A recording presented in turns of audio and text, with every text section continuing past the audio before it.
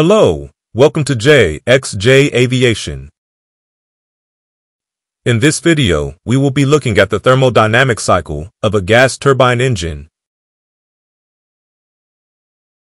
An ideal gas turbine engine follows the Brayton cycle. The Brayton cycle describes the behavior of air as a working fluid in the engine. Before we look at how the Brayton cycle is applicable for the gas turbine engine, we need to look at the different processes involved in the Brayton cycle. Isentropic process. This is defined as the process where the entropy of a system remains constant. Entropy is defined as the degree of randomness or disorder in the system. Isobaric process. This is a thermodynamic process that occurs at a constant pressure. Adiabatic process.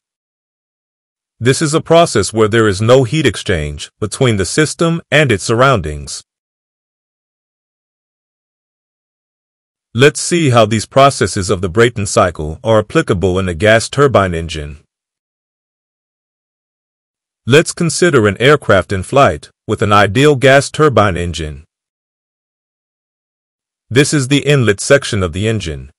The inlet section of the engine expands, which means the cross-sectional area increases.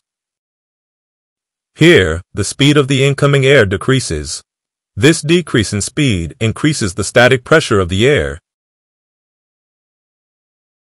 This is an isentropic process. The air now enters the compressor section of the engine.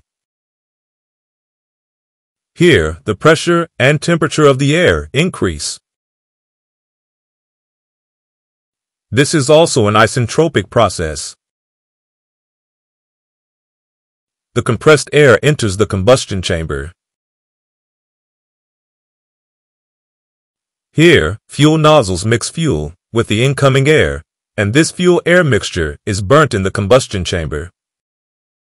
This is an isobaric process, or happens under constant pressure. The hot gas is passed through the turbine stages, where the air causes the turbine to rotate. The turbine is connected to the compressor on the same shaft, so the turbine rotates the compressor.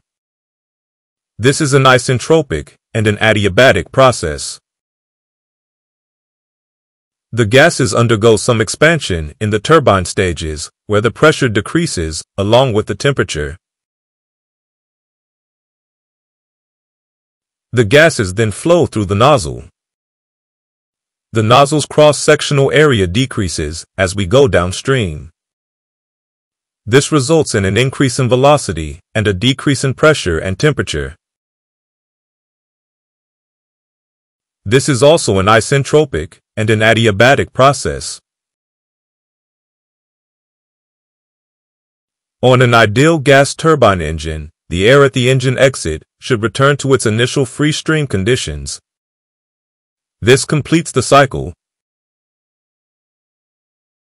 Brayton cycle, TS and PV diagrams. The TS diagram is a graph between temperature and entropy. This point represents the initial free stream condition of the air. The airflow in the inlet and the compressor is an isentropic process.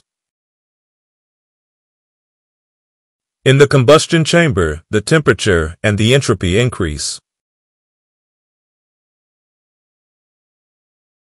The expansion in the turbine and nozzle sections of the engine is again an isentropic process. After exiting the nozzle, the air returns to its initial conditions, closing the cycle. The area under the TS diagram is the useful work and thrust generated by the engine. The PV diagram is a graph between pressure and volume. This is the initial condition of the air. The isentropic compression in the inlet and compressor section causes an increase in the pressure and decrease in the volume.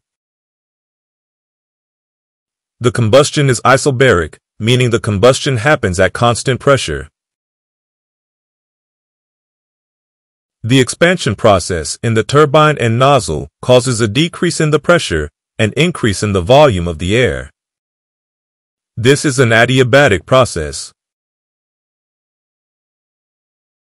At the exit, the air returns to its original condition, closing the cycle. That's all from my video on the thermodynamic cycle of a gas turbine engine. Thank you for watching. If you like the video, please share and subscribe. And you can continue watching some of my other videos as well.